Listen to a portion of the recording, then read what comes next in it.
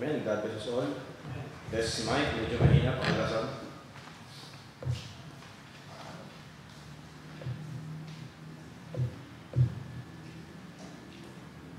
Yan, purihin po ang Diyos sa kabutihan niya po sa atin. Ngayon pong hapon ay uh, mag-aaral po tayo ng salita ng Diyos. Ah, bago po ang lahat, nais ko pong batiin ang mga kapatid natin na sa kanilang kanilang mga tahanan na makikinig po ng salita ng Panginoon. Meron po akong isang tula na babasahin ko sa inyo. At lahat po tayo ay nakaka-relate sa tulang ito. Ito po ang pagkakasabi. Ang pamagat po ng tulang ito ay Praylessness Poem. It goes like this. I knelt to pray, but not for long. I had too much to do. I had to hurry and get to work, for bills would soon be, would soon be due. So I knelt and said a hurried prayer and jumped up off my knees. My Christian duty was now done. My soul could, read, could, could rest at ease. All day long, I had no time to spread a word of cheer, no time to speak of Christ to friends. They laugh at me, I fear. No time, no time, too much to do. That was my constant cry. No time to give to souls indeed, but at last the time, the time to die. I went before the Lord, I came, I stood with downcast eyes. For in his hand, God held a book. It was the book of life. God looked into his book and said, Your name I cannot find. I was I once was going to write it down, but never found the time. Kung walang oras yung Diyos na isulat yung pangalan mo, kasi wala kaming oras sa Kanya eh. Mga kapatid, tula lang to pero po meron pong sapak sa atin. Mula sa tulang ito, makikita natin ang maraming katotohanan na sumasalamin sa buhay ng maraming Kristiyano. Magpe-pray ka pero hindi masyadong mahaba kasi wala ka nang time eh. Kailangan mo na magmadali kasi pag nag-pray ka ng mahaba, baka maputulan ka ng kuryente eh. Maputulan ka ng kuryente ng Meralco. Minsan, kumbaga, satisfying na lang yung pagpe-pray natin para masabi lang natin sa sarili natin na nakapag-pray ako. Wala tayong time, ibahagi ang salita ng Diyos. Ah, wala tayong time masyadong sa pananalangin mga kapatid. Kung may isang bagay man na laging napapapayaan ng mga Kristiyano, walang iba kundi yung ating prayer life. Someone said, Life is fragile, handled with prayer. Yes, it's true that our life is fragile. Pero hindi natin ito na pag-iingatan ng panalangin. Even, even, though, even those people that God used in the ministry, ipapagamit ko sa Panginoon, we are tempted to do those things in the ministry without asking God for power. But we will see in the book of Jonah, as we continue our series in this book, makikita natin ang isang propeta na pinabayaan ng kanyang prayer life. So look with me in Jonah chapter 2, verse number 1. Stand with, stand with please. And pag-alang ko ng salita ng Diyos, basahin po natin ang book of Jonah. Pagkatapos po ng uh,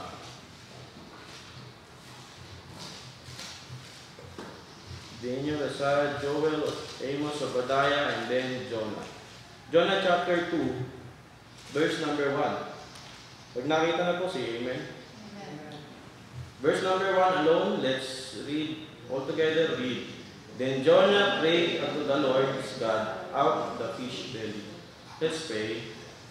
Manaming Diyos na sa langit kami po Panginoon, Ay nagpapasalamat sa inyo sapagkat kami po ay nakatulog, nakapunta sa inyong trono ng biyaya upang hingin namin sa inyo Panginoon yung mga bagay na ninanais namin na naway na sa inyong kalooban. Panginoong Diyos, sa aming pong pag-aaral ng salita, dalangin po namin na mangusap po kayo sa bawat isa, sa bawat puso po namin, Panginoon, na minsan ay nakakalimutan o napapapayaan po namin ang aming prayer life. Sa busy mundong ito, Panginoon, nawa tulungan niyo po kami na maging tapat sa inyo. Ang banal na Espiritu po nawa ang siyang mangusap sa bawat isa. Ito po ang aming dinadalangin sa salamatan sa pangalan ng Panginoon Jesus, aming Diyos Kapagligtas. Amen. Nung nakaraan po, pinag pinag-usapan po natin yung we. Maraming salamat po. Review po natin yung ating last preaching last last last week uh, afternoon service. We talk about Jonah chapter 1 and we talk about when God disciplined us. And when God disciplined us, it shows that He cares. Mababasa din natin yan sa Hebrews na kapag pinapalo tayo ng Panginoon, when God discipline or when God chasten us, it shows that He cares. It shows that He loves us. And when God disciplines us, it shows His great power. And not only that, when God disciplines us, it shows that He is patient, waiting for us to call Him. Makikita natin yan sa chapter 1. At sa, at sa hapon na ito, babalikan ulit po natin yung chapter 1. We will talk about the result of prayerlessness life. Ano po ba yung resulta ng napabayaan na natin yung ating prayer life?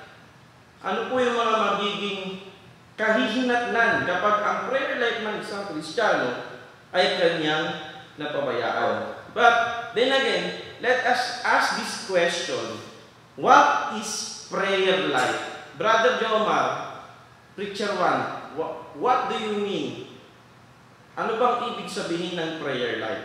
When we talk about prayer life, we know that it is not just praying for your meal.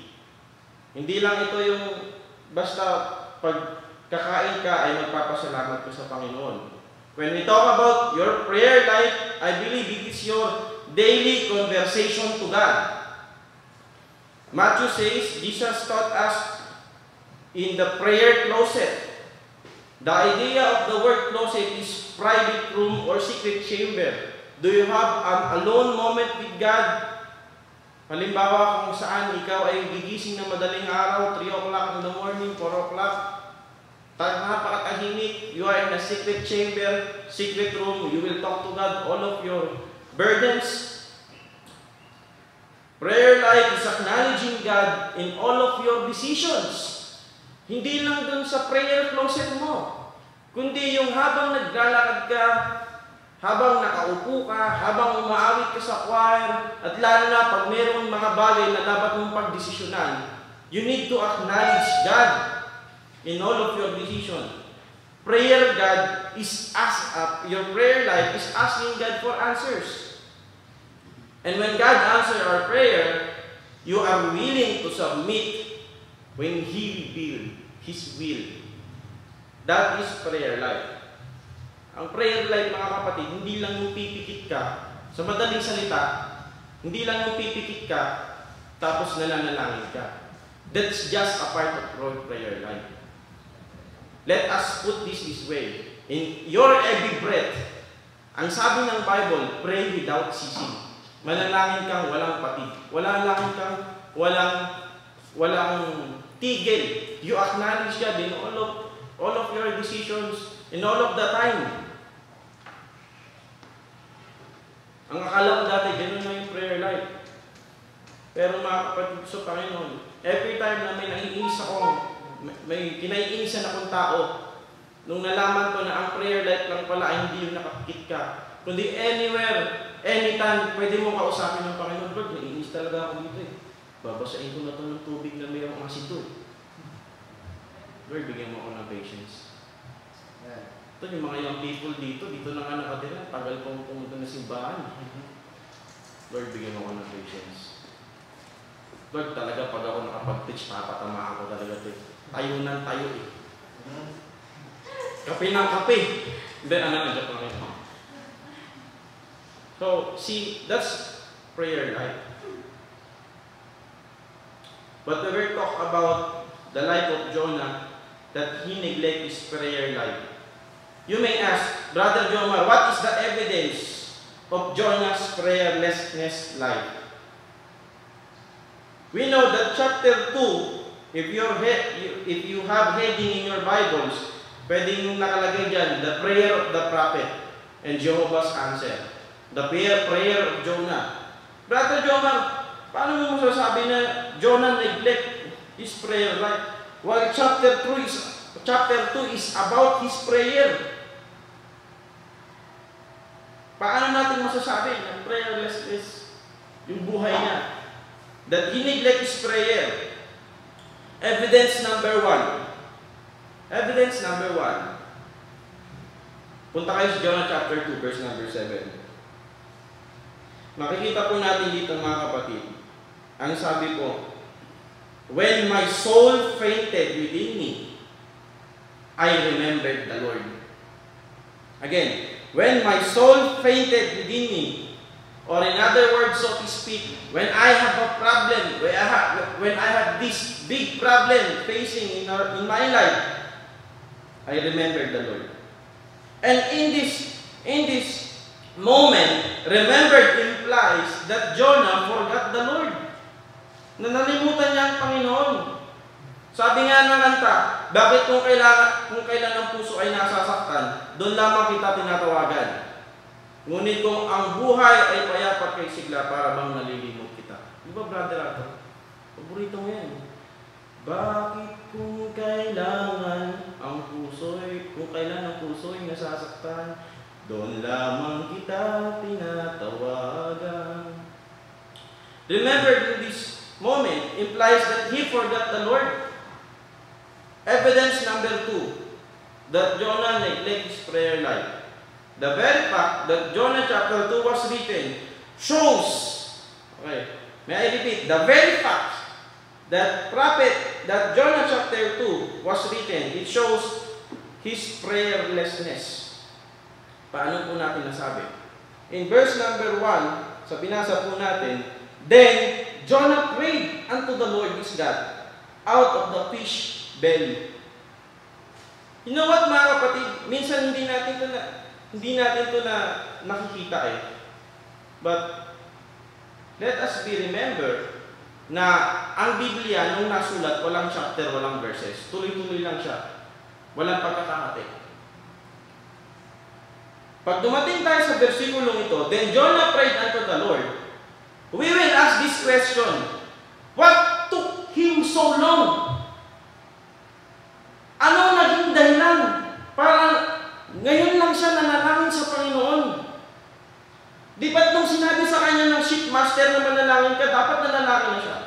Di ba't nung sinira niya na yung testimony niya doon sa mga harap ng mga marinero, mari, marino, dapat nanalangin na siya? Di ba't nung ihagis na siya dapat sa mula sa barko, sa ano mong, ano yun, di ba't nanalangin na siya? And when we read verse number 17 of chapter 1, Now the Lord had prepared the great fish to swallow up Jonah. And Jonah was in the belly of the fish three days and three nights. So when we say three days and in three nights, three days, full three days, hindi nung ikatlong araw. Nangyari pa ang lahat ng mga masasamang bagay sa kanya And in verse number 1 of chapter 2, then Jonah prayed unto the Lord. Guys, what took him so long, mga kapatid? If Jonah obeyed the will of God right away, makikita natin. Look with me in Jonah chapter 3, verse number 3. So Jonah arose and went unto Nineveh according to the word of the Lord. Dapat po, yan ang kasunod ng chapter 1, verse number 2. Nagganda, tignan nyo, pag binasa natin, kung sumunod siya sa Panginoon, ganito ang pagkakabasa ng chapter 1. Now the word, the word of the Lord came unto Jonah, the son of Amittai, saying, Arise, go to Nineveh, that great wicked city, and cry against it. for their wickedness is come up before me. Verse number 3 of chapter 3. So Jonah arose and went unto Nineveh according to the word of the Lord. Mga kapatid ko sa Panginoon, ganun po ba nangyari? That's the problem. We're praying for His will. But when God revealed His will to us, at pag hindi natin nagustuhan, ay, hindi pala. Ayoko. For example, I will give you an example. Sa larangan ng ligawan, eto, yun, napagaling si sister. Larangan ng ligawan. Sa larangan ng ligawan, may mga babae na nagpe-pray sila. Lord, di naman kailangan may kotse na Diyos eh. Mga ganyan, di ba? Lord, hindi naman kailangan matangkad, magaling kumanta. Hindi ganyan. Lord, hindi naman kailangan may liyo. Diba? Tsaka, tsaka pogi. Lord, gusto ko yung faithful, yung talagang dadalhin mo sa Panginoon. At biglang na ipapakilala sinusunod na faithful, yung mga pinagpe-pray mong standards, pasok. At sinabihan ka na, kapatid, pwede ba kitang ipag-pray? Pero dahil ang tao bias, nakatingin tayo sa itsura ng tao, ito na yung will ng Panginoon, nung nireveal sa iyo ng Panginoon, dahil standard mo ang sinusunod mo, hindi standard ng Diyos, ay ayaw na pala. At hindi lang po siya sa ganyan na nangyayari. Maraming area ng buhay natin na ipinapakita na ng Panginoon yung kanyang kalooban. But because of our lack of prayer, acknowledging God that this is His will and you need to do it right away. Mga kapatid ko sa Panginoon, I really believe na kung bakit ang ugali natin hindi nababago, kung bakit hindi tayo nag-grow sa Panginoon, kasi kulang yung prayer life natin. And from this story, mga kapatid, from the story of Jonah, pinapakita sa atin ng Panginoon ang resulta kapag pinabayaan po natin ang ating prayer life. Number one result. The result of prayerlessness life is a noticeable decline. When we say decline, pagbaksak. Again, ang resulta na pinabayaan mo yung prayer life mo, sa madaling salita, babagsak ang iyong spiritual life. We know in the story in chapter 1 that when when the Bible says that Jonah flee from the presence of the Lord, alam na Jonah that God is omnipresent. He is everywhere. Pinag-usapan natin to. Hindi niya tinatakasan yung presensya ng Panginoon. But we understand the wordings of these verses na nagtikwit na siya sa ministry. Na ayaw niya na maging propeta. Nineveh is northeast, but he go in the other way. Decline means pagbagsak. And in his decline, sa ating mga kapatid, kapag tayo ay hindi mapanalangin sa Panginoon, pag pinabayaan natin ang prayer life natin, babagsak po ang ating spiritual life. At sa pagbagsak ni Jonah, mga kapatid, makikita natin na meron, merong aversion na nangyari. What is an aversion? Aversion is an acting of turning away yourself away. Aversion, anong aversion na nangyari? Anong pagtalikod ang ginawa ni Jonah? Aversion from the will of God. Look at verse number 3 of chapter 1. But Jonah rose up to flee unto Tarshish from the presence of the Lord, and went down to Jonah, and he found a ship going to Tarshish. He paid the fare thereof, and went down into the pit. Verse number 5 of chapter 1, yung last sentence, But Jonah was gone down into the side of the ship, and he lay and was fast asleep. Literally na nangyayari, di ba? Pero makikita mo din yung sa story ni Samson. Yung wordings ng Biblia na went down. Mga kapatid, ang sabi ng ang sabi ng isang author, the will of God, which we sometimes think so hard, ang kalooban ng Panginoon na minsan iniisip natin na napakahirap, is if we only knew it, kung nalalaman lang natin, just the softest pillow to rest upon. Kung malalaman mo lang, akala mo yung kalooban ng Panginoon, akala mo pagiging matinong Kristiyano ay hindi masaya. Pero kung malalaman mo lang mga kapatid, the will of God is the softest pillow to rest upon. Yun ang pinakamalambot na una na mo, mahihigaan mo. Ang daming mga young people na yun. O kahit di young people, papunta na sa 30s. Di ba? Wala pa rin kaseryosohan sa buhay. Hindi mo pa rin alam kung saan yung papunta ng buhay nila. Ayaw nila sa kalooban ng Panginoon. Kasi naniniwala sila na ang na ang Christian life, eto lang, hindi yung buong buhay mo. But that is an aversion from the will of God. Someone said, the safest place to be is in the center of, the, of God's will. Ang pinaka-safe na place sa buong mundo ay yung hindi yung meron kang malaking bahay na merong, diba, ma mawalang galang na po sa taong nakaupo. Diba? Yung bahay nila, maraming, hindi po, maraming gwardiya, maraming, kahit ship pa ni Captain America yung dingding ng bahay mo, hindi po yun yung pinaka-safe place sa mundo. Ang pinaka-safe place sa mundo yung nasa kalooban ka rin. And the will of God is really revealed in His Word. Hindi lang po yung aversion sa salita ng Diyos, yung bumabagsak. In His decline, there will be alienation from God's presence. But again, in verse number 3, Flipped, dalawang beses inulit sa chapter 1. Ganun, sa verse number 10, basahin natin. Then the men exceedingly afraid and said unto him, Why hast thou done this?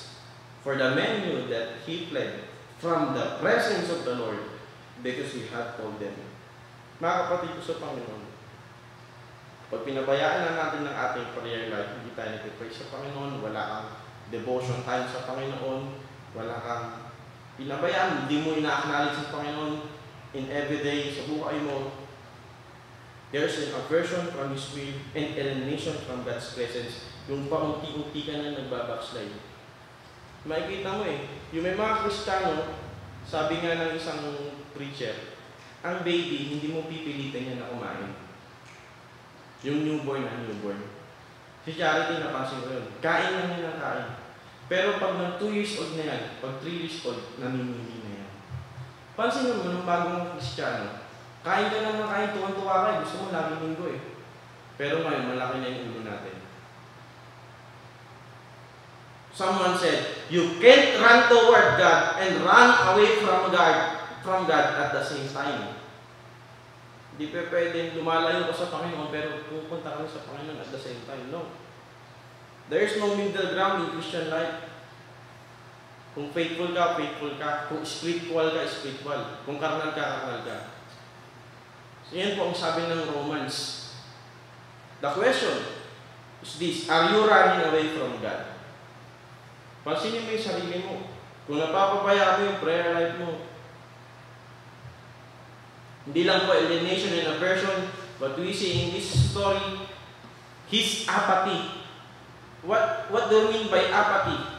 An absence of enthusiasm. Wala nang gana mag-pray. Wala nang gana sa ministry. Wala nang gana maglinis ng church. Ako nga, sabi ko, simple lang ang pangarap ko. Makapag, makapag U-turn ng 10-wheeler na truck. Hindi, hindi yun. Kahit, kahit ito yung buong buhay ko, okay lang. Maglilinis ako ng church. Kahit sa buong buhay ko, dito na ako mamatay. That's okay. If that is the will of God in my life. Pero yung iba, pumasa lang ng board exam, di mo naghahawak ng walis dito eh.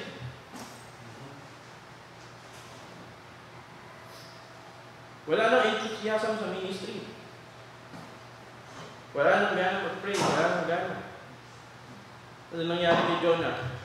Lahat, natawag nila yung Diyos nila, yung mga marino, mga kapatid. Pero siya, ano lang, natutulog pa, tulog-tulog. Hindi dahil nagtitiwala siya sa Panginoon in the middle of the storm, kundi wala na siyang enthusiasm, wala na siyang gana. When we neglect our prayer life, it will resort in decline, in backsliding, so to speak. Kapag pinabayaan mo yung prayer life mo, mapapansin mo yung sarili mo, nagbabackslide ka na. Kahit lagi ka nandito sa church. Number two, the result of prayerless life is not just a decline, not just a backslidden condition, but the result of prayerless life is a terrible damage. Ano po yung naging damage? A damage na ginamit ng Panginoon by the tempest. Sa malakas na bagyo. So for the sake, for the sake sa mga sa mga hindi pa nakakaalam ng story ni Jonah, no? Diba? Si Jonah inutusan, hindi siya sumunod, sumakay siya ng barko, tapos, ang ginawa ng Panginoon, kapatid, nagpadala ang Panginoon ng malakas na bagyo kasi dinidisiplin niya si Jonah. A damage, a terrible damage by the tempest that was used by God. At si Jonah, because he loses enthusiasm, ba, wala na siyang pakialam. And many times, kapag tayo ay nasa backslidden state, hindi natin nakikita yung mga damage. Wala tayong pakialam na sayang yung pinagsamahan niyo sa church, ng mga young people, so winner of the year ka pa dati, as if, kunyari na nga, kunyari na. Hindi mo maiisip yun. Nagka-choir ka pa, ang, ang dami mong kaibigan sa church. Ba, nung nagpa-commitment, nag-commitment ka ng 200, tapos inutangan ka, pambili ng merienda, hindi mo maisip yun. Hindi mo makikita yung damage. And not just that, a damage to the truth. In verse number 7 to verse number 9 of Jonah, makikita natin, verse number 7 to 9, basahin ko. And they said, And they said everyone to his fellows, Come and let us cast lots, that we may know for whose cause this evil is upon us. Tara, magbunutan tayo, mag-cast lots tayo. Di natin alam kung anong bunutan yung ginawa nila, kung anong cast lots. So they cast lots, and the lot fell upon Jonah. Napunta kay Jonah.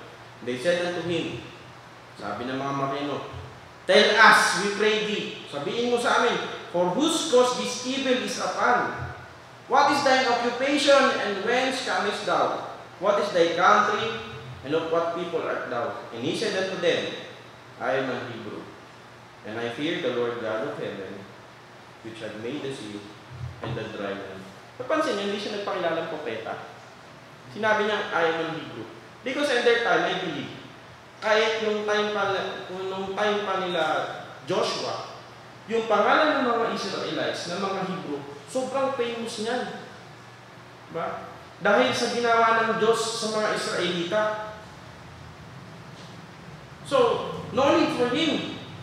We may say, no need for him na magpakilala ng isang propeta. Sapat na yung sabihin niya na, I am a Hebrew, and I fear the Lord, the God of heaven, who had made the sea and the dry land.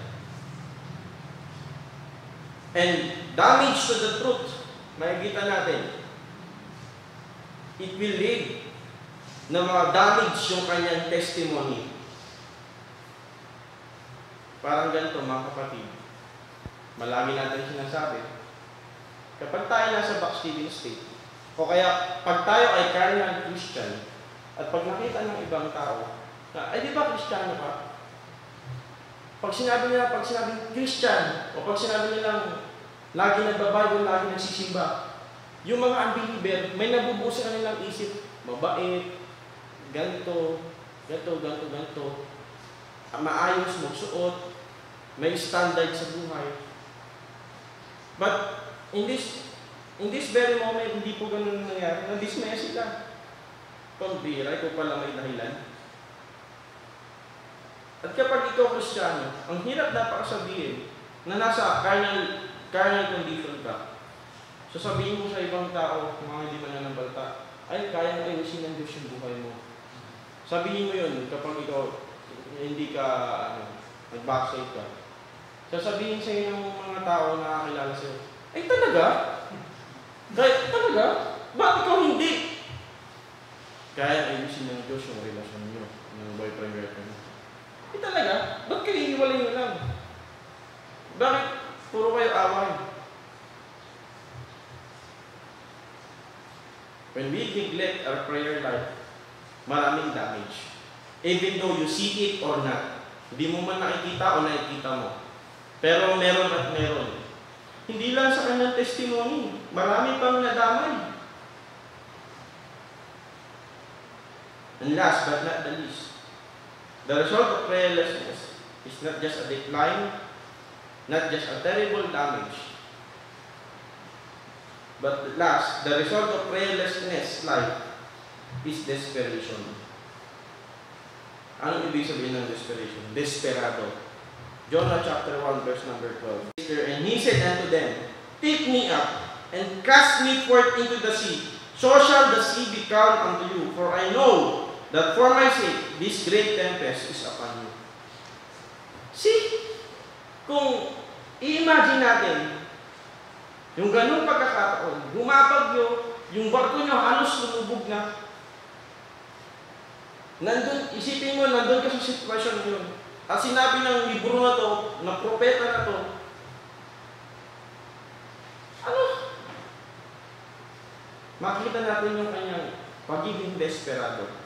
And because of this desperation, Jonah prepared death over praying.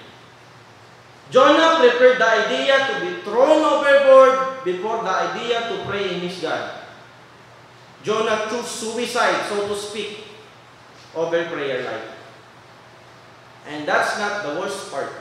Because as we read earlier in verse number 17, last na pagbasa sa verse na to. Jonah chapter 1 verse number 17.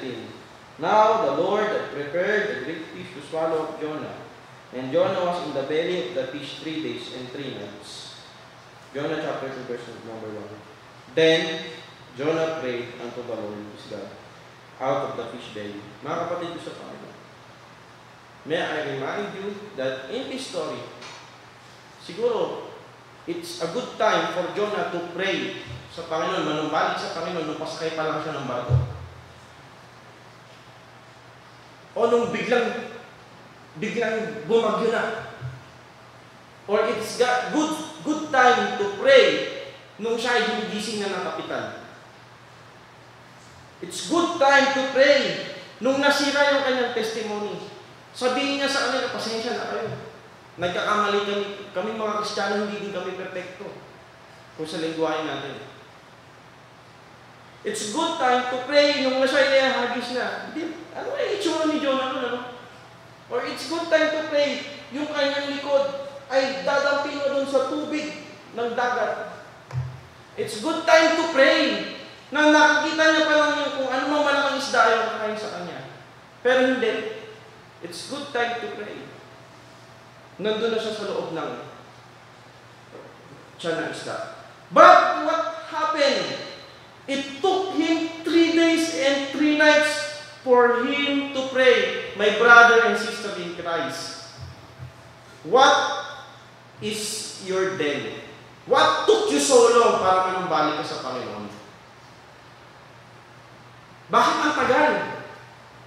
Mga kapatid ko sa Panginoon, this is a good time, a perfect time para sabihin mo sa Panginoon, Lord, kung may mga pagkukulang mga hindi ko nagawa, patawarin po ninyo ako. Lord, kung hindi ko po napapanalangin ang aking mga kapatid na ang pastor, patawarin niyo po ako. Kung hindi ko napapanalangin ang gobyerno, wala akong ginagawa, wala akong pakialam kasi napaka-comfortable ko naman sa ginagawa ko ngayon, patawarin po ninyo.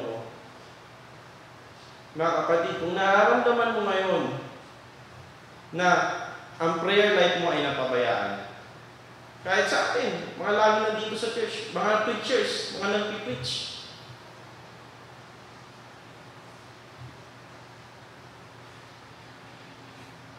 alam niyo po, mahirap po mag, mahirap po mag, ano, mag, mag-build ng pamilya. Lalo na yung consistent kayo nagpipray sa Panginoon. So, ako po, sa amin, sa bahay, pinipilit ko po, pinipilit po namin, na every night, meron kaming prayer time. At dumating sa punto, ay nagpe-pray naman na kami as family, di na ako magpe-pray pagkatulog. Napakasarap po mga kapatid kapag yung prayer life mo ay hindi mo napapabayaan.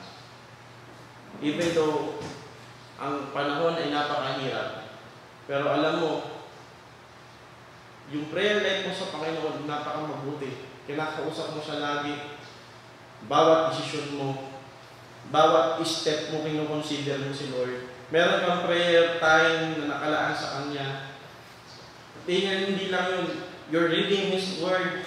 That's the time that God is speaking to you. wala pong decline na mangyayari.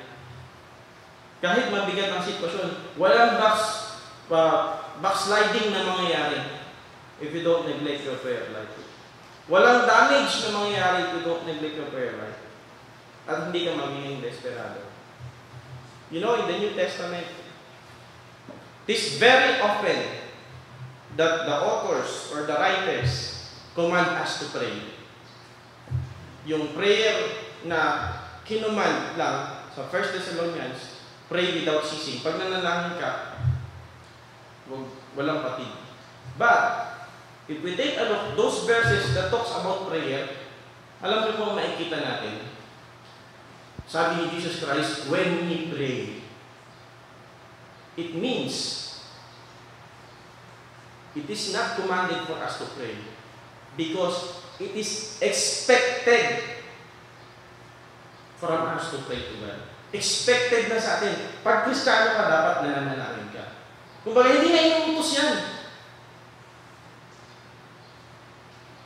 But there is some uh, rulers, pag nananalangin tayo, nagbigay ang Panginoon ng, ng guidelines. But when we study those verses that talks about prayer, makikita natin, we as a Christian, expected ng Panginoon na dapat nananalangin tayo sa Kanya. Lord, bakit ako mananalangin siya? Wala mo naman lahat ng bagay. Alisin niyo po yung ganyan thinking. Because we pray to God because we depend on Him in each every day. Pag nalalangin tayo, hindi natin pinalalahanan ng Panginoon. Ang pinapalahanan natin ay yung sarili natin. Yung sarili natin na hindi natin kaya mabuhay sa mundo kung walang tulong ng Panginoon. Hindi natin kaya maging hindi natin kaya maging successful sa ministry kung wala ang kapangyarihan ng Panginoon, kung walang pagtulong ng Panginoon sa buhay natin. Hindi natin ito maiintindihan kung walang pagtulong ng Panginoon sa buhay natin. Mga kapatid ko sa Panginoon, the question tonight is this. How is your prayer life? Kamusta na ang prayer life niyo? Let's go to the Lord in prayer and I ask Pastor Pedro Pastor Bong to close us in prayer.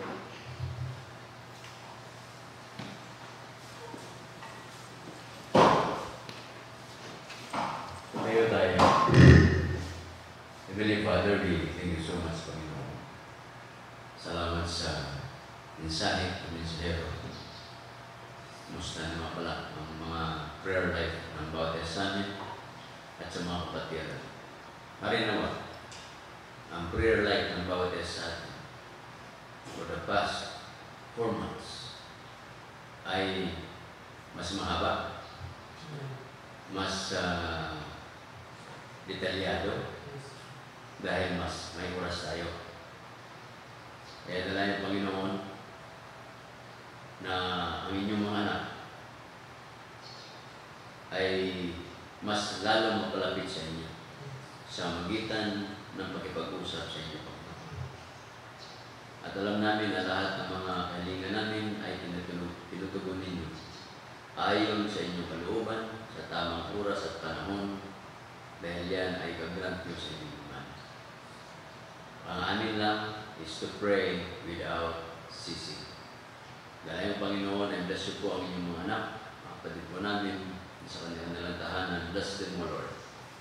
Na ang prayer life namin ay lalong uh, magkaroon pa ng maraming oras.